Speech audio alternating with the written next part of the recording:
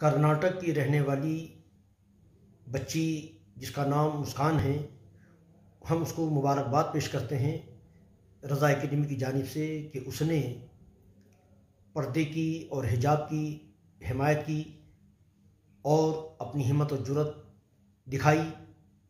इस पर हम उसको मुबारकबाद पेश करते हैं और यूँ भी पर्दा, हिजाब, हर मुसलमान औरत पर लाजिम है, ज़रूरी है, वाजिब है।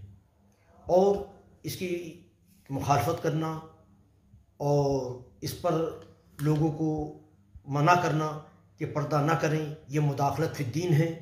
दीन में मुदाखलत है, मुस्लिम प्रसन्ना में मुदाखलत है और हुकूमत हिंद की जानब से जो कानून बना हुआ है, आइन भी हमको इसकी इजाज़त देता है कि हम अपनी मर्ज़ी से जो चाहें वो लिबास पहने और हर हिंदुस्तानियों को ये इजाज़त है कि वो जो मज़हब चाहे इख्तियार करे, जो लिबास चाहे वो पहने, जो खाना चाहे वो खाए तो हिजाब की और पर्दे की मुखालफत शरई तौर पर भी शरी शरीयत में भी मुदाखलत है और हिंदुस्तान का जो आइन है इसकी भी मुखालफत है।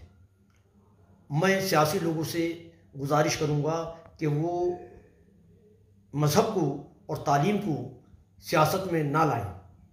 इससे मुल्क का नुकसान है। हमको चाहिए कि हम हर हिंदुस्तानी फ़र्द पर तालीम को आम करने की जद्दोजहद करें कि जब तालीम आम हो जाएगी, इल्म आम हो जाएगा तो हम छोटी छोटी बातों में लोगों को जो सियासी लोग गुमराह करते हैं, वो नहीं कर सकेंगे।